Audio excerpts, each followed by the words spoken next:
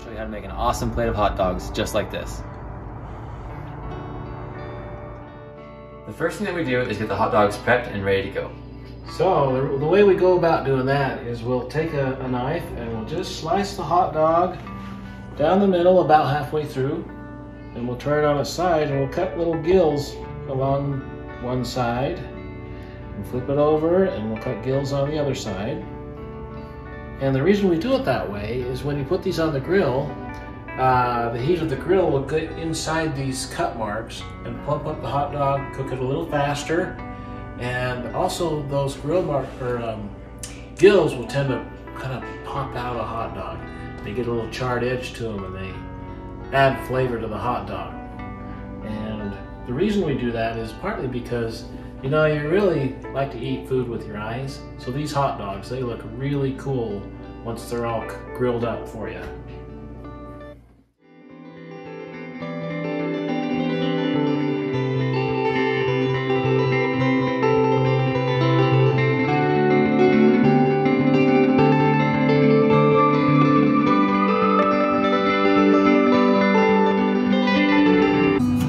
To throw these on the grill. Now these are all beef hot dogs. That's how we like to roll.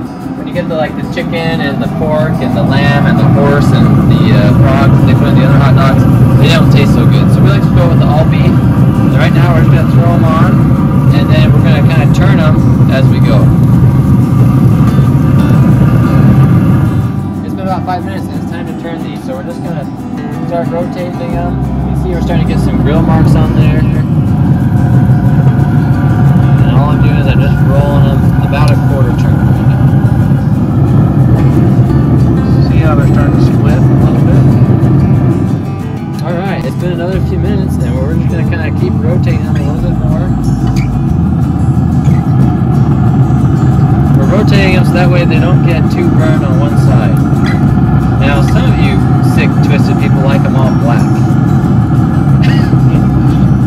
if that's the case, just let them burn.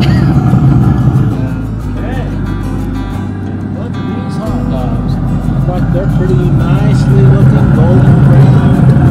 See how those gills are kind of coming up? They look really delicious. We're going off. Oh, good. Good job. See how they're split open? Nicely. Hey, thanks so much for watching. Hey, if you guys like this video, go ahead and put, hit the like button, and uh, especially if you really like it a lot, go ahead and subscribe to our videos. Good to be with you guys today. See ya.